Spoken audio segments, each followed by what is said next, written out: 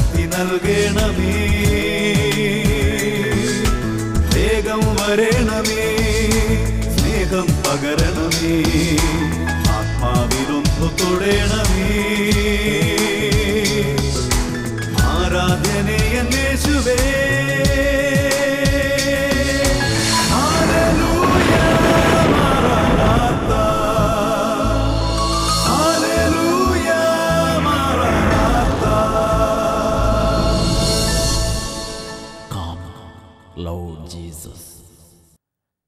The Lord hallelujah സുഭാഷിതങ്ങൾ പത്ത് പതിനേഴ്.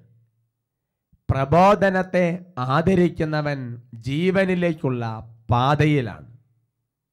Hallelujah praise the lord Sehion ധ്യാനകേന്ദ്രം ഒരുക്കുന്ന വചന ശുശ്രൂഷയിലേക്ക് യേശു ക്രിസ്തുവിന്റെ നാമത്തിൽ സേവർക്കാൻ വട്ടാരത്തിന്റെ ആത്മീയ കൂട്ടായ്മയിൽ നിങ്ങളെല്ലാവരെയും സ്നേഹപൂർവം സ്വാഗതം ചെയ്യുന്നു.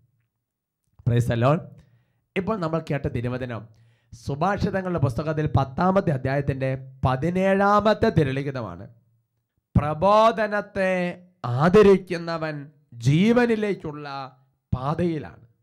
ഹല്ലേലൂയ. എന്ന് പറഞ്ഞാൽ വചന ശുശ്രൂഷയെ ആദരിക്കുമ്പോൾ ഒരു ആത്മീയ ശുശ്രൂഷയെ ബഹുമാനിക്കുമ്പോൾ ഒരു പരിശുദ്ധാത്മ പ്രവർത്തനമുള്ള തിരുസഭയോട് ചേർന്ന് നമ്മൾ അതിനെ സംബന്ധിക്കുമ്പോൾ ആ വ്യക്തി അറിയാതെ ജീവനിലേക്കുള്ളൊരു പാതയിലേക്ക് പ്രവേശിച്ചു കഴിഞ്ഞു. ഒരു പോക്കറ്റ് റോഡിൽ കൂടി നിന്ന് വണ്ടി ഓടി വണ്ടി അറിയാതെ തന്നെ നാഷണൽ ഹൈവേയിലേക്ക് പ്രവേശിക്കുന്നത് പോലെ ജീവന്റെ പാതയിലേക്ക് അവൻ അറിയാതെ പ്രവേശിക്കും. വചനം കേട്ടുകൊണ്ടിരിക്കുമ്പോൾ തന്നെ. അല്ലേ ലുയ്യ വർക്ക പറയാം അല്ലേ ലുയ്യ ഇപ്പോൾ നമ്മൾ അങ്ങനെ പാതയിലേക്ക് പ്രവേശിക്കാൻ ഒരുങ്ങിക്കൊണ്ടിരിക്കുകയാണ് ഈ മണിക്കൂറിൽ. പ്രിയപ്പെട്ട സഹോദരങ്ങളെ ഇതുപോലെ ദൈവോചന ശുശ്രൂഷയെ ആദരിച്ച് ബഹുമാനപൂർവം അതിൽ സംബന്ധിച്ചു കഴിഞ്ഞപ്പോൾ ജീവന്റെ പാതിലേക്ക് പ്രവേശിച്ച ഒരു ദൈവ പൈതലിന്റെ അനുഭവം ഞാൻ നിങ്ങളെ ശ്രദ്ധയിൽപ്പെടുത്തുകയാണ്. അദ്ദേഹം ആ വ്യക്തി എഴുതിയിരിക്കുന്ന സാക്ഷ്യം ഞാൻ വായിച്ചു കേൾപ്പിക്കാം. എന്റെ പേര് വിമല ആന്റണി കർണാടകയാണ് സ്ഥലം. ഞാൻ എന്നത് ബാംഗ്ലൂരിൽ നിന്നുമാണ്. എനിക്ക് ആറ് വർഷം മുമ്പ് രണ്ട് ബ്രസ്റ്റിലും മുഴ വന്നു. രണ്ടും ഓപ്പറേഷൻ ചെയ്ത്. അത് കഴിഞ്ഞ് കുറച്ച് നാൾ കഴിഞ്ഞപ്പോൾ ഞാൻ വീണ്ടും ഡോക്ടറെ കാണാൻ പോയി. അപ്പോൾ ഡോക്ടർ പറഞ്ഞു സ്കാൻ ചെയ്ത് നോക്കണമെന്ന്. സ്കാൻ ചെയ്തപ്പോൾ രണ്ട് ബ്രസ്റ്റിലും വീണ്ടും മുഴകൾ വന്നിട്ടുണ്ട് എന്ന് പറഞ്ഞു. അന്ന് മുതൽ എന്റെ മനസ്സിന് ഒരുപാട് വേദനയായി. ഞാൻ ഒത്തിരി പ്രാർത്ഥിച്ചു. കൂടാതെ മരുന്നും ടെസ്റ്റ് ചെയ്യലുമായി മൂന്ന് നാല് വർഷക്കാലം നടന്നു. ഒരു വ്യത്യാസവുമില്ല. അങ്ങനെ ഇരിക്കെ വീണ്ടും കഴിഞ്ഞ നവംബർ മാസത്തിൽ സ്കാൻ ചെയ്തപ്പോൾ ആ മുഴകൾ ഒരു വ്യത്യാസമില്ലാതെ അങ്ങനെ തന്നെ ഉണ്ട് എന്ന് റിപ്പോർട്ട് പ്രകാരം ഡോക്ടേഴ്സ് പറഞ്ഞു. അങ്ങനെ ഒരു ദിവസം എന്റെ ചില സുഹൃത്തുക്കൾ മുഖേന ഞാൻ കഴിഞ്ഞ മെയ് മാസം പതിനഞ്ചാം തീയതി മുതൽ സെഹിയോൻ ധ്യാന കേന്ദ്രത്തിൽ വന്ന് താമസിച്ചൊരു ധ്യാനം കൂടാൻ ഇടയായി. ആദ്യത്തെ ദിവസങ്ങളിലെല്ലാം എന്റെ മനസ്സിന് ഒരു തരം മടുപ്പായിരുന്നു. രണ്ടാം ദിവസം മുതൽ എനിക്ക് നന്നായി പ്രാർത്ഥിക്കാൻ തോന്നി. ഞാൻ ഈശോയോട് കരഞ്ഞ് പ്രാർത്ഥിച്ചു. അപ്പോഴെല്ലാം അച്ഛൻ രോഗസൗഖ്യം വിളിച്ച് പറയുമ്പോൾ എനിക്കും ഇതുപോലെ കിട്ടുമെന്ന് വിശ്വാസമുണ്ടായിരുന്നു ധ്യാനം കഴിഞ്ഞ് എനിക്ക് എന്തെന്നില്ലാത്തൊരു സന്തോഷം തോന്നി. അതിനിടയിൽ അഭിഷേക പ്രാർത്ഥന നടക്കുന്ന സമയത്ത് ആരോ എന്റെ പുറത്ത് തട്ടുന്നത് പോലെ എനിക്ക് തോന്നി. എനിക്ക് അനുഭവപ്പെട്ടു. അപ്പോൾ എനിക്ക് മനസ്സിലായി ഈശോ എന്നെ സ്പർശിച്ചിട്ടുണ്ടെന്ന്. എനിക്ക് രോഗസൗഖ്യം കിട്ടിയെന്ന് എനിക്ക് ഉറച്ച് വിശ്വസിച്ച് ഞാൻ ധ്യാനം കഴിഞ്ഞ് ഉടനെ സ്കാൻ ചെയ്താലോ എന്ന് എനിക്ക് തോന്നി. കാരണം സ്കാൻ ചെയ്താലേ സാക്ഷ്യപ്പെടുത്താൻ പറ്റുള്ളല്ലോ. അതിനാൽ ഞാൻ ചെന്ന് വീണ്ടും സ്കാൻ ചെയ്ത് ഡോക്ടറെ കണ്ട് അത്ഭുതമെന്ന് പറയട്ടെ എന്റെ ശരീരത്തിനായിരുന്ന രണ്ട് മുഴകളും പരിപൂർണമായി അപ്രത്യക്ഷമായി കഴിഞ്ഞിരുന്നു. അല്ലേ ലുയ്യ ആ സ്ത്രീ സ്ത്രീയുടെ ഫോട്ടോ എല്ലാം വെച്ച് സാക്ഷി ഇങ്ങോട്ട് എഴുതി അറിയിച്ചിരിക്കുകയാണ്. പ്രൈസ് ലോർഡ് സന്തോഷത്തോടെ പറയാം. ഹാലേലുയ്യ പ്രബോധനത്തെ ആദരിക്കുന്നവൻ വചനത്തെ ആദരിക്കുന്നവൻ ആത്മവിശ്വാസത്തെ ബഹുമാനിക്കുന്നവൻ അവൻ ജീവനിലേക്കുള്ള പാതയിലേക്ക് അവൻ അറിയാതെ പ്രവേശിച്ചു തുടങ്ങും എന്നാണ് പരിശുദ്ധാനും വചനങ്ങളുടെ വെളിപ്പെടുത്തുന്നത്. സന്തോഷത്തോടെ പറയാം. ഹാലേലുയ്യ പ്രിയപ്പെട്ട സഹോദരങ്ങളെ ആ സ്ത്രീ പ്രാർത്ഥിച്ചതൊന്ന് ശ്രദ്ധിച്ചേ. ഇവിടെ ഒരുപാട് തരത്തിലുള്ള സന്ദേശങ്ങൾ ഒരുപാട് തരത്തിലുള്ള കാര്യങ്ങൾ പറഞ്ഞുകൊണ്ടിരിക്കുമ്പോൾ ഒരുപാട് വചനങ്ങൾ കേട്ടുകൊണ്ടിരിക്കുമ്പോൾ ആ സഹോദരി മനസ്സുകൊണ്ട് ആഗ്രഹിച്ച് പ്രാർത്ഥിച്ചു എനിക്കും ഇതുപോലെ ഒന്ന് സംഭവിക്കണമേ എന്നിട്ട് അങ്ങ് വിശ്വസിച്ചു അങ്ങനെ തന്നെ സംഭവിക്കുകയും ചെയ്തു. പ്രൈസ്തല്ലോ ഈ സമയത്ത് വചന ശുശ്രൂഷയ്ക്ക് ആമുഖമായി നമുക്കൊന്ന് എഴുന്നേറ്റ് നിന്ന് പ്രാർത്ഥിക്കാം. നല്ല ഉണർവോടെ ഒന്ന് പ്രാർത്ഥിക്കാം. ഈ സമയത്ത് നമ്മുടെ ജീവിതത്തിന്റെ അവസ്ഥകളെല്ലാം കർത്താൻ വിട്ടുകൊടുക്കുക. പ്രബോധനം കേട്ടുകൊണ്ടിരിക്കുമ്പോൾ സമയത്ത് തന്നെ പരിശുദ്ധാത്മ വ്യാപരിച്ച് ജീവനിലേക്ക് നമ്മൾ കൂട്ടിക്കൊണ്ടുവന്ന് വചനം പഠിപ്പിക്കുകയാണ്. രോഗമുള്ള ശരീരത്തിൽ ജീവൻ വരും. തലച്ചുള്ള ശരീരത്തിൽ ജീവൻ വരും. ആത്മാവ് അന്തിഭവിച്ചിരിക്കുന്ന മേഖലയിൽ ജീവൻ പ്രാപിക്കും. പ്രിയപ്പെട്ട സഹോദരങ്ങളുടെ തടസ്സങ്ങൾ മൂലം വളർച്ചയില്ലാതെ മുരടിച്ച് നടക്കുന്ന സാമ്പത്തികമാകട്ടെ കൃഷിയാകട്ടെ ഏത് മേഖല അവിടെ ജീവൻ പ്രാപിക്കുമെന്ന വചനം വെളിപ്പെടുത്തുന്നത്. നമുക്ക് എഴുന്നേറ്റ് നിന്ന് രണ്ട് കരങ്ങൾ ഉയർത്തി. ഇപ്പോൾ നമ്മൾ ഒറ്റയ്ക്കല്ല പ്രാർത്ഥിക്കുന്നത്. ഈ സഹിയാൻ വചന കൂടാരത്തിലിരുന്ന് ഒരുപാട് വ്യക്തികൾ നിങ്ങൾക്ക് വേണ്ടി പ്രാർത്ഥിക്കുന്നുണ്ട്. തിരുസഭ മുഴുവൻ പ്രാർത്ഥിക്കുന്നുണ്ട്. ലോകമെമ്പാടും അർപ്പിക്കുന്ന എല്ലാ വിശുദ്ധ കുർബാനകളോടും ചേർന്ന് നിന്നുകൊണ്ട് നമ്മൾ പ്രാർത്ഥിക്കുകയാണ്. കാര്യങ്ങൾ ഉയർത്തി ഒരുമിച്ച് ഉറക്ക സ്തുതിക്കട്ടെ. ഹാലലുയ്യ ഹാലലുയ്യ ഹാലലുയ്യ ഹാലലുയ്യ യേശുവെ ആരാധന ആരാധന ആരാധന ആരാധന ആരാധന ആരാധന ആരാധന ആരാധന. ഓ കർത്താവേ ജീവൻ നഷ്ടപ്പെട്ട് കർത്താവ് പുതു നാമ്പുകളില്ലാതെ കരിഞ്ഞിരിക്കുന്ന ഓരോ ജീവിതങ്ങളെ ഇപ്പോൾ കടാക്ഷിക്കണമേ എന്ന് പ്രാർത്ഥിക്കുന്നു.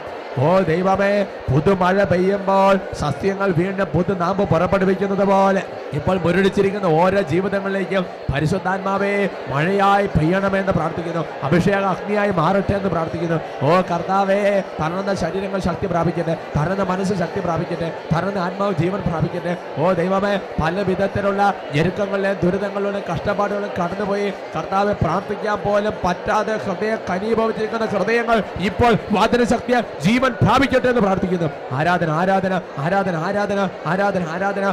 കർത്താവെ അവിടുത്തെ വചനം ആത്മാവും ജീവനുമാണെന്ന വചനം ഇപ്പോൾ ഈ വചനം കേട്ടുകൊണ്ടിരിക്കുന്ന ഓരോ ഓരോ ദൈവങ്ങളുടെ അയച്ചു പ്രാർത്ഥിക്കുന്നു. ജീവൻ പ്രാപിക്കട്ടെ കർത്താവ്. ആത്മാവിന് അഭിഷേകം വ്യാപരിക്കട്ടെ കർത്താവ്. ആരാധന ആരാധന ആരാധന ആരാധന. യേശുവെ ആരാധന യേശുവെ ആരാധന യേശുവെ ആരാധന. വചനത്തിന്റെ അമ്മയായ പ്രിയപ്പെട്ട അമ്മ പരിശുദ്ധ അമ്മ അമ്മയോട് ചേർന്ന് നമുക്ക് ഒരുമിച്ച് പ്രാർത്ഥിക്കാം. നന്മ നിറഞ്ഞ മറിയമേ സ്വസ്തി. കർത്താവ് അങ്ങയോട് കൂടെ സ്ത്രീകളിൽ അങ്ങ് അനുഗ്രഹിക്കപ്പെട്ടവളാകുന്നു അങ്ങയുടെ ഉദരത്തിന് ഫലമായി ഈശോ അനുഗ്രഹിക്കപ്പെട്ടവനാകുന്നു ഉറക്കച്ചല്ല പരിശുദ്ധ മറിയമ്മേ തമ്പുരാന്റെ അമ്മ ഭാവികളായ ഞങ്ങൾക്ക് വേണ്ടി ഇപ്പോഴും ഞങ്ങളുടെ മരണസമയത്തും തമ്പുരാനോട് അപേക്ഷിച്ചു കൊള്ളണമേ. പ്രേസ്തലോൺ ലിയ ഇന്ന് നമ്മൾ ചിന്തിക്കുന്ന വിഷയം വ്യർത്ഥതയ്ക്ക് വേണ്ടി ദൈവമഹത്വം കൈവടിയരുത്. അതൊരു വചനമാണ്. വ്യർത്ഥതയ്ക്ക് വേണ്ടി ദൈവമഹത്വം കൈവടിയരുത്. ഹാലലുയ്യ ഏസയ പ്രവാദന്റെ പുസ്തകത്തിൽ നാൽപ്പത്തി ഒൻപതാമത്തെ അധ്യായത്തിന്റെ മൂന്ന് മുതൽ ആറ് വരെയുള്ള തിരുവചനങ്ങൾ. ഇസ്രായേലേ നീ എന്റെ ദാസനാണ്. നിന്നെ ഞാൻ മഹത്വം പ്രാപിക്കുമെന്ന് അവിടുന്ന് അരുളി ചെയ്തു ഹാലലിയ ഇസ്രായേൽ എന്ന് പറയുന്നത് പ്രിയപ്പെട്ട സഹോദരങ്ങളെ യാക്കോബിന് ദൈവം കൊടുത്തൊരു പേരാണ് ഇസ്രായേൽ.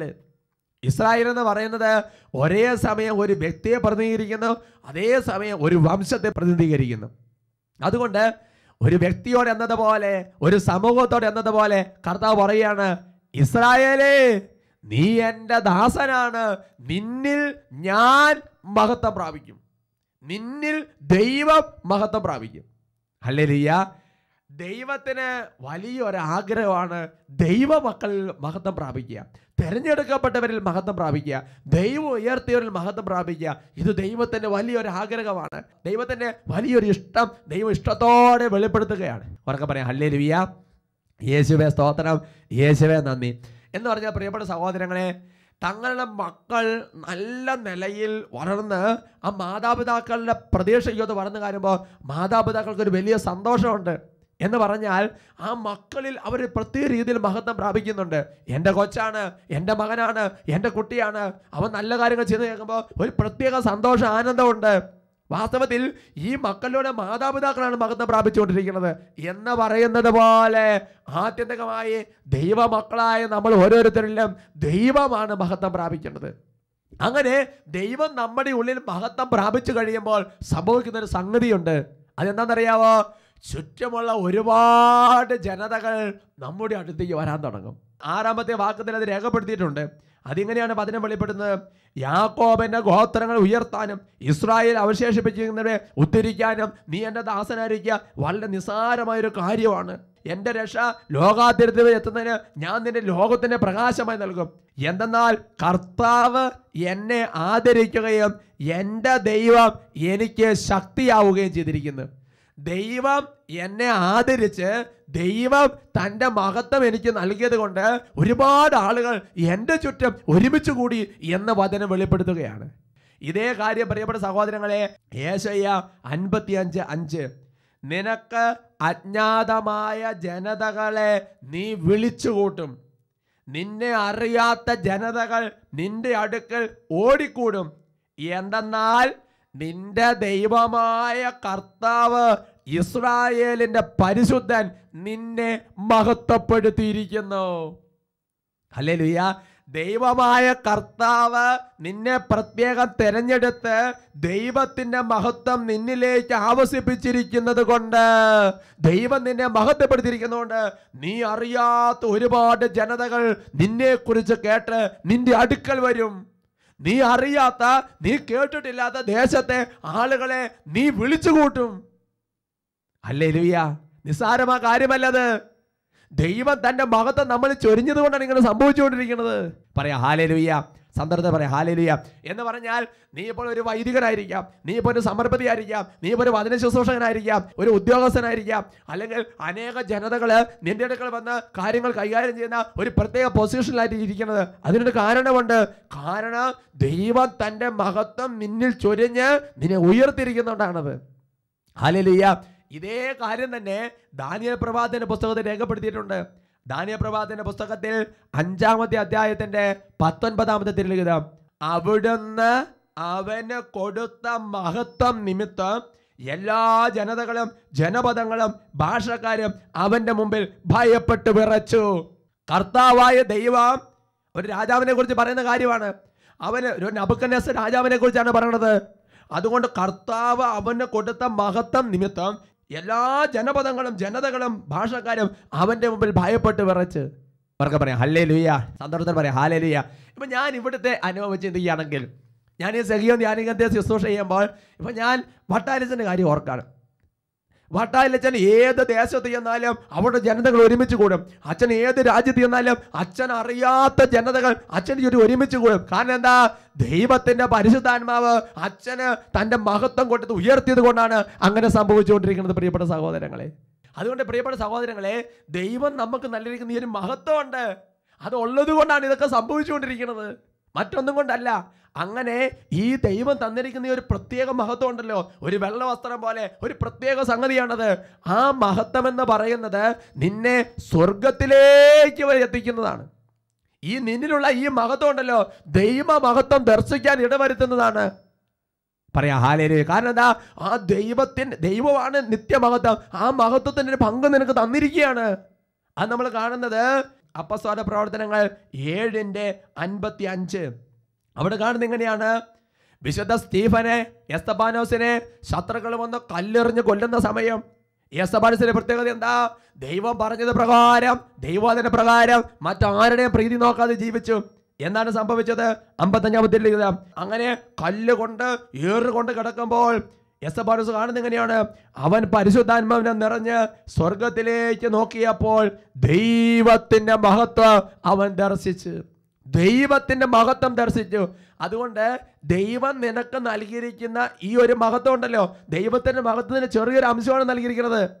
ആ മഹത്വം എന്തിനു വേണ്ടിയിട്ടാണെന്നറിയാവോ നിന്നെ ദൈവമഹത്വം ദർശിക്കാൻ ഇടവരുത്തുന്നതിന് വേണ്ടിയിട്ടാണ്. അഥവാ ഈ ദൈവമഹത്വത്തിലേക്ക് നിന്നെ ഉയർത്തുന്നതിന് വേണ്ടിയിട്ടാണ്. അവർക്ക് പറയാം ഹാലേ ലുയ്യ സന്ദർഭം പറയാം ഹാലേ ഹാലേലുയ്യ ഇതിനെക്കുറിച്ച് കുറച്ചുകൂടെ ആഴത്തിലൊരു വചനമുണ്ട്. അത് നമ്മൾ കാണുന്നത് ലൂക്കാട് സുവിശേഷത്തിലാണ്. ലൂക്കാട് സുവിശേഷം ഒൻപതാമത്തെ അധ്യായത്തിന്റെ മുപ്പത്തൊന്നാമത്തെ ലിഖിതം. അവിടെ യേശു രൂപാന്തരപ്പെടുന്ന സമയമാണ്. യേശുവിന്റെ ആ രൂപാന്തരീകരണം നടക്കുമ്പോൾ അവിടെ പത്രോസും മറ്റു സ്ത്രീകന്മാരും മൂന്ന് ശിഷ്യന്മാർ യേശുവിന്റെ കൂടെ ആയിരിക്കുന്ന സമയത്ത് അവർ കാണുന്ന എന്താണെന്നറിയോ? അപ്പോൾ രണ്ടു പേർ മോശയും ഏലിയായും അവനോട് സംസാരിച്ചു കൊണ്ടിരുന്നു. അവർ മഹത്വത്തോടെ കാണപ്പെട്ടു. എന്ന് പറഞ്ഞാൽ ഏലിയായും മോശയും ഈ ഭൂമിയിൽ കർത്താവ് കൊടുത്ത മഹത്വമുള്ളവരായിരുന്നു. അതുകൊണ്ട് എന്ത് ചെയ്തു? ഏലിയാട് ചുറ്റി ഒരുപാട് ജനം ഒരുമിച്ച് കൂടി മോശ ഒരു ജനതയുടെ അടിമനായിട്ട് മാറി നേതൃത്വമായിട്ട് മാറി. എന്നിട്ട് എന്താ സംഭവിച്ചു? അവരെല്ലാം ഈ ദൈവമഹത്വത്തോട് കൂടി ജീവിച്ച്. അവസാനം ആ ദൈവത്തിന്റെ മഹത്വത്തിലേക്ക് പങ്കുചേർന്നു. അതുകൊണ്ടാണ് പത്രോസും ബാക്കി സ്ത്രീകന്മാരും കണ്ടത്. അവർ മഹത്വത്തോടെ പ്രശോഭിക്കുന്ന കാണാൻ ഇട വന്നത് പ്രിയപ്പെട്ട സഹോദരങ്ങളെ. അവർക്ക് പറയാം ഹാലലിയ. അതുകൊണ്ട് ദൈവം നൽകിയിരിക്കുന്ന ഈ ഒരു മഹത്വം നമ്മൾ നിസ്സാരമായിട്ട് കണക്കാക്കരുത്. ദാനിയ പ്രവാദിന്റെ പുസ്തകത്തിൽ അഞ്ചാമത്തെ അധ്യായത്തിന്റെ പത്തൊൻപതാമത്തെ വാക്യം ഞാൻ സൂചിപ്പിച്ചു. അവന് കൊടുത്ത മഹത്വ നിമിത്തം എല്ലാ ജനപദങ്ങളും എല്ലാ ഭാഷക്കാരും അവനെ പോലെ ഭയപ്പെട്ട് വിറച്ചു.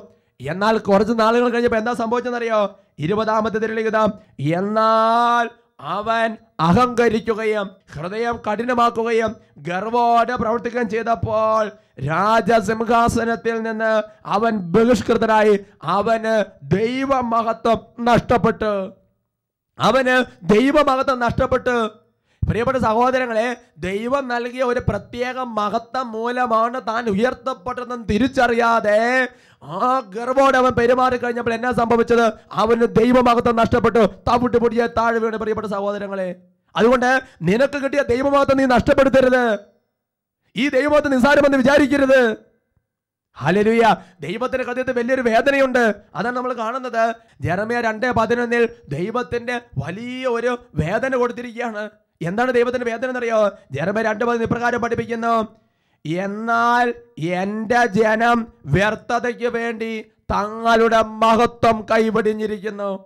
എന്നാൽ എന്റെ ജനം വ്യർത്ഥതയ്ക്ക് വേണ്ടി എന്റെ മഹത്വം കൈപടിഞ്ഞിരിക്കുന്നു. പ്രിയപ്പെട്ട സഹോദരങ്ങളെ ഈ ലോകത്തിന്റെ കുറേ കാര്യങ്ങൾ നേടിയെടുക്കാൻ വേണ്ടി ദൈവം നൽകിയിരിക്കുന്ന ദൈവമഹത്വം നീ നഷ്ടപ്പെടുത്തി കളയരുത്. ഈ ദൈവമഹത്വമാണ് നിന്നെ ഉയർത്തിയത്. അതുകൊണ്ട് ഈ ദൈവമഹത്വം നിനക്ക് നഷ്ടപ്പെടും നീ താഴ്ത്തപ്പെടും. അതുകൊണ്ട് മഹത്വം കൈപിടിയരുത്. ജനം വ്യർത്ഥതയ്ക്ക് വേണ്ടി വ്യർത്ഥതയ്ക്ക് വേണ്ടി വ്യർത്ഥതയ്ക്ക് വേണ്ടി തന്റെ മഹത്വം കൈവെട്ടിച്ച് കളഞ്ഞ് പ്രിയപ്പെട്ട സഹോദരങ്ങളെ. ഒരുമിച്ച് പറയാം ഹാലേലുയ. അത് ദൈവത്തിന്റെ ഹൃദയത്തിന് വലിയൊരു വിലാപമാണ്. അതാണ് റോമാ ലേഖനത്തിൽ മൂന്നാമത്തെ അധ്യായത്തിന്റെ ഇരുപത്തിമൂന്നാമത്തെ ലിഖിതം. റോമ മൂന്ന് ഇരുപത്തിമൂന്ന് എല്ലാവരും പാപം ചെയ്ത് ദൈവമഹത്വത്തിന് അയോഗ്യരായി. എല്ലാവരും പാപം ചെയ്ത് ദൈവമഹത്വത്തിന് അയോഗ്യരായി. നീ ഒരു കുഞ്ഞ് പാപം ചെയ്യുമ്പോൾ എന്താ സംഭവിക്കുന്ന അറിയാവോ നിന്നിലുള്ള ദൈവത്തിന്റെ മഹത്വമാണ് നഷ്ടപ്പെട്ടുകൊണ്ടിരിക്കുന്നത്. നിന്നുള്ള ദൈവമഹത്വമാണ് നഷ്ടപ്പെടുത്തോണ്ടിരിക്കുന്നത് ഒരു വ്യർത്ഥ ഭാഷ നടത്തുമ്പോൾ ഒരു ആവശ്യമില്ലാത്ത കൂട്ടുകെട്ട് പോകുമ്പോൾ നീ ഒരു ആവശ്യമില്ലാത്ത കാര്യത്തിന് പോകുമ്പോൾ എന്താ സംഭവിക്കുന്നത്? നിന്റെ മഹത്വമാണ് നഷ്ടപ്പെടുത്തോണ്ടിരിക്കുന്നത് എല്ലാവരും പാപം ചെയ്ത് ദൈവമഹത്വത്തിന് അയോഗ്യരായി. യേശുവെ സ്തോത്രം. യേശുവെ നന്ദി. അതുകൊണ്ട് പ്രിയപ്പെട്ട സഹോദരങ്ങളെ പാപം ചെയ്ത് ദൈവമഹത്വം നഷ്ടപ്പെടുത്തി കളയരുത്. കാരണം പാപത്തിന്റെ സാന്നിധ്യം നമ്മുടെ ദൈവമഹത്വം സാധ്യമല്ല. ഹലലുയ.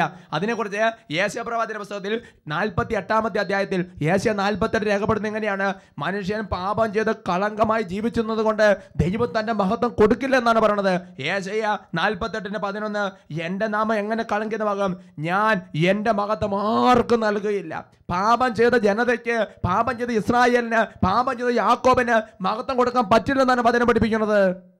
ഒരുമിച്ച് പറയാം ഹാലേ ലുയ്യ യേശുവെ സ്തോത്രം യേശുവെ നന്ദി. ഹൃദയം തുറന്ന് ഹല്ലേ ലുയ്യ അതുകൊണ്ട് പ്രിയപ്പെട്ട സഹോദരങ്ങളെ ബൈബിൾ വ്യക്തമായിട്ട് നൽകുന്ന ഒരു സൂചനയുണ്ട് യോഗനശേഷം അഞ്ചാമത്തെ അധ്യായത്തിന്റെ നാൽപ്പത്തൊന്നാമത്തെ തിരുവചനം മനുഷ്യരിൽ നിന്ന് ഞാൻ മഹത്വം സ്വീകരിക്കുന്നില്ല. പരസ്പരം മഹത്വം സ്വീകരിക്കുകയും ഏക ദൈവത്തിൽ നിന്ന് വരുന്ന മഹത്വം അന്വേഷിക്കാതിരിക്കുകയും ചെയ്യുന്ന നിങ്ങൾ എങ്ങനെ എങ്ങനെ രക്ഷപ്പെടും? ഹലരുയ പരസ്പര മഹത്വം സ്വീകരിക്കുകയും ഏക ദൈവത്തിൽ നിന്ന് വരുന്ന മഹത്വം സ്വീകരിക്കുകയും ചെയ്യുന്നില്ലെങ്കിൽ എങ്ങനെയാണ് വിശ്വസിക്കുക? എങ്ങനെയാണ് അനുഗ്രഹം പ്രാപിക്കുക? അതുകൊണ്ട് പ്രിയപ്പെട്ട സഹോദരൻ ഒരു കാര്യം മനസ്സിലാക്കണം. വ്യർത്ഥതയ്ക്ക് വേണ്ടി ദൈവം തരുന്ന മഹത്വം കൈപിടിയരുത്. അത് നഷ്ടപ്പെട്ടു പോയ പിന്നെ തിരിച്ചു കിട്ടില്ല. സോളമൻ എന്താ സംഭവിച്ചത്? ദാവിദിന് എന്താ സംഭവിച്ചത്? സാംസൺ എന്താ സംഭവിച്ചത്? അനേകം തെരഞ്ഞെടുക്കപ്പെട്ടവർ വ്യർത്ഥതയ്ക്ക് വേണ്ടി വ്യർത്ഥതയ്ക്ക് വേണ്ടി മഹത്വം കൈപിടിഞ്ഞു തകർന്നു തരിപ്പണമായി പോയില്ലേ? ഹല്ലേലൂയ പ്രൈസ് ദി ലോർഡ് അതുകൊണ്ട് ദൈവം നൽകിയിരിക്കുന്ന മഹത്വത്തെ ഒരിക്കലും നഷ്ടപ്പെടുത്തരുത്. അത് നിനക്ക് ദൈവമഹത്വം ദർശിക്കാൻ വേണ്ടി ഭൂമിയിൽ ജീവിക്കാൻ നിനക്ക് തന്നതാണത്. നിനക്ക് സ്വന്തമായിട്ട് തന്നാണത്. അതാണ് നിന്നെ സ്വർഗത്തിൽ ദൈവത്തിന്റെ മഹത്തിനെ പൂർണതയിലേക്ക് ഉൾച്ചേർക്കാനിരിക്കുന്നത്. പ്രൈസ് ദി ലോർഡ് കർത്താവിന്റെ സന്നിധിയിൽ നമുക്ക് എഴുന്നേറ്റ് നിന്ന് പ്രാർത്ഥിക്കുകയാണ് പ്രിയപ്പെട്ട സഹോദരങ്ങൾ എഴുന്നേറ്റ് നിൽക്കാം കണ്ണുനീരോടെ അനുതാപത്തോടെ പ്രാർത്ഥിക്കട്ടെ. ഓ എന്റെ ദൈവമേ ഒരുപാട് ജനതകൾ എന്റെ ചുറ്റുമുണ്ട്. ഒരുപാട് തലങ്ങളിൽ ദൈവം ഉയർത്തിയിട്ടുണ്ട്. ഓ ദൈവമേ ഞാൻ തിരിച്ചറിയുകയാണ് കർത്താവെ. അവിടുന്ന് എനിക്ക് നൽകിയ ചെറിയ മഹത്വം അങ്ങയുടെ വലിമയിൽ നിന്ന് നൽകിയ ചെറിയ മഹത്വം. അതുകൊണ്ടാണ് ഇതെല്ലാം ഇങ്ങനെ സംഭവം ഞാൻ തിരിച്ചറിയുന്നത് കർത്താവെ. പലപ്പോഴും അവിടുത്തെ മഹത്വം ഞാൻ നഷ്ടപ്പെടുത്തിയിട്ടുണ്ട്.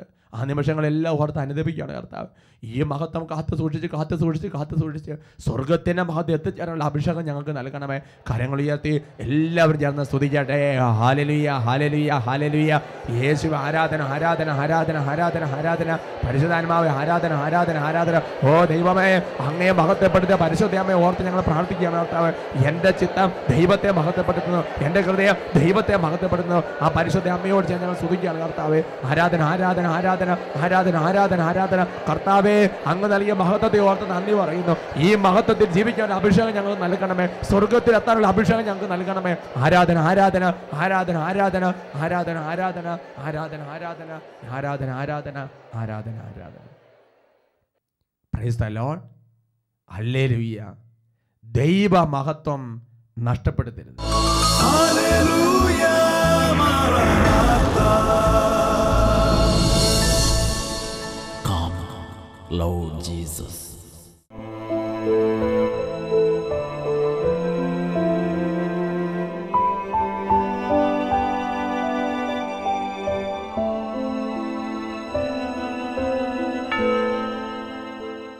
യോഹന്നാന്റെ സുവിശേഷം പതിനേഴാമത്തെ അധ്യായത്തിൽ കർത്താവ് ഇപ്രകാരം പ്രാർത്ഥിക്കുന്നുണ്ട്.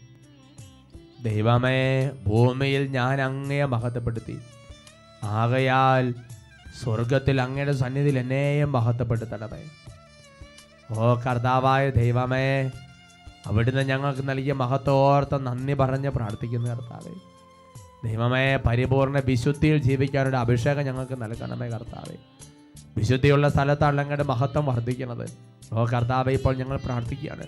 കൃപയിൽ നിറഞ്ഞ് വിശുദ്ധിയിൽ നിറഞ്ഞ് അഭിഷേകത്തിൽ നിറഞ്ഞ് പ്രാർത്ഥനയിൽ വർദ്ധിക്കുന്ന ഒരു അഭിഷേകത്തിന്റെ അവസ്ഥ ഞങ്ങൾക്ക് നൽകണമേ കർത്താവേ.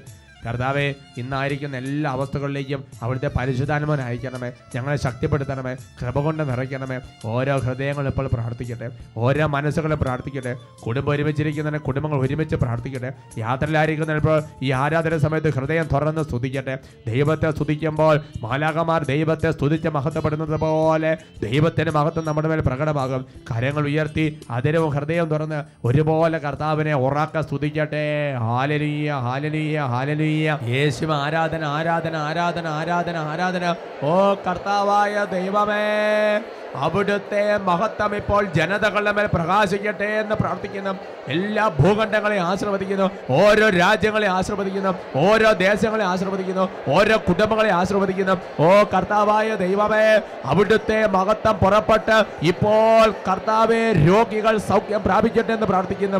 ഓ ദൈവമേ അവിടുത്തെ മഹത്വത്തിന്റെ ശക്തിയാൽ പൈശാചിക പീഡകം വിട്ടൊഴിയട്ടെ എന്ന് പ്രാർത്ഥിക്കുന്നു.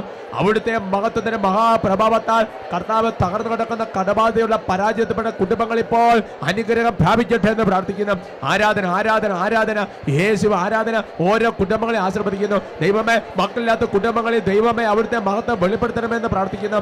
കടബാധ്യത മൂലം ഭവനമില്ലാത്ത മൂലം ജോലി ഇല്ലാത്ത പോലെ തടസ്സപ്പെടുന്ന കുടുംബങ്ങൾ ഇപ്പോൾ അനുഗ്രഹം പ്രാപിക്കട്ടെ എന്ന് പ്രാർത്ഥിക്കുന്നു. ആരാധന ആരാധന ആരാധന ആരാധന. യേശു ആരാധന.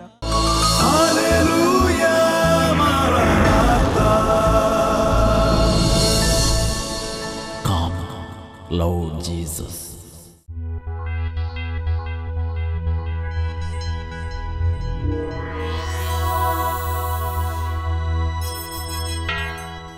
എന്റെ പേര് ഷിൻഡ.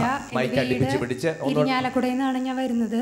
ഈ ജനുവരിയിൽ എന്റെ സലൈവറി ഗ്ലാൻഡിൽ ഒരു സെന്റിമീറ്റർ സ്റ്റോൺ ആയിരുന്നു. ഭയങ്കര വേദനയായിരുന്നു. സംസാരിക്കാനും ഭക്ഷണം കഴിക്കാനും ഒന്നും തീരെ സാധിക്കുന്നുണ്ടായിരുന്നില്ല. അതിനുശേഷം രണ്ട് ഡോക്ടർമാരെ മാറി മാറി കണ്ടു.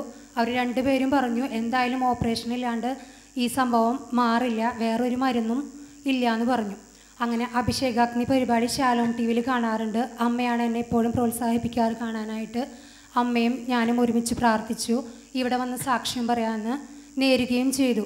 അതിനുശേഷം ഡോക്ടറെ കണ്ടപ്പോൾ ഡോക്ടർ പറഞ്ഞു ജനുവരി പന്ത്രണ്ടാം തീയതിക്ക് ശേഷം എന്തായാലും ഓപ്പറേഷൻ ഡേറ്റ് ഫിക്സ് ചെയ്യാം എന്ന് പറഞ്ഞു. ആ പന്ത്രണ്ട് ദിവസം സംസാരിക്കാൻ പോലും പറ്റാതെ ഞാൻ കിടപ്പിലായിരുന്നു. അതിനുശേഷം പ്രാർത്ഥിച്ചു. പന്ത്രണ്ടാം തീയതി ജൂബിലി മിഷനിൽ ഡോക്ടറെ കാണാനായിട്ട് പോയി. ഡോക്ടർ ആദ്യത്തെ സ്കാൻ റിപ്പോർട്ടിലായിരുന്നു സ്റ്റോൺ കണ്ടിരുന്നത്. രണ്ടാമത്തെ പ്രാവശ്യം പോയപ്പോൾ ഡോക്ടർ സ്കാൻ പോലും ചെയ്തില്ല. വെറുതെ ജസ്റ്റ് ഇവിടെ തൊട്ട് നോക്കിയിട്ട് പറഞ്ഞു. കല്ലൊന്നുമില്ല. കല്ല് ഓപ്പറേഷൻ. ഒന്നും വേണ്ട. ഗ്രാന്തി ഉമ്മനീർ ഗ്രന്ഥിയിൽ കല്ലായിട്ട് സംസാരിക്കാൻ പറ്റാതെ തുപ്പലിറക്കാൻ പറ്റാതെ ഉമിനിറക്കാൻ പറ്റാതെ ഭക്ഷണം കഴിക്കാതെ വിഷമിച്ചിരിക്കുമ്പോൾ ഓപ്പറേഷൻ ഫിക്സ് ചെയ്തു. അങ്ങനെയൊക്കെ ശാലോൺ ടി വിയിൽ ഞായറാഴ്ച രാത്രി എട്ടര മണിക്കുള്ള അഭിഷേകാഗ്നി പ്രോഗ്രാം കണ്ട് പ്രാർത്ഥിച്ച്. പ്രത്യേകിച്ച് അമ്മ നിർബന്ധിച്ച് കാണാൻ പറഞ്ഞ് നിർബന്ധിച്ച് ഒരുമിച്ചിരുന്ന് പ്രാർത്ഥിച്ചു. പിന്നെ അടുത്ത പ്രാവശ്യം ചക്കമ്മന് ചെല്ലുമ്പോൾ കല്ല് അപ്രതീക്ഷയായി കഴിഞ്ഞിരുന്നു പ്രിയപ്പെട്ട സഹോദരങ്ങൾ. ഹല്ലേ ലുയ്യ നന്നായിട്ട് കൈയടിച്ച് പാട്ട് പാടി കർത്താവിന് മഹത്വം കൊടുക്കട്ടെ. ഞങ്ങൾക്കല്ല കർത്താവേ ഞങ്ങൾക്കല്ല കർത്താവേ മഹത്വം മഹത്വം യേശുവിനെ. കർത്താവേ കർത്താവേ മഹത്വം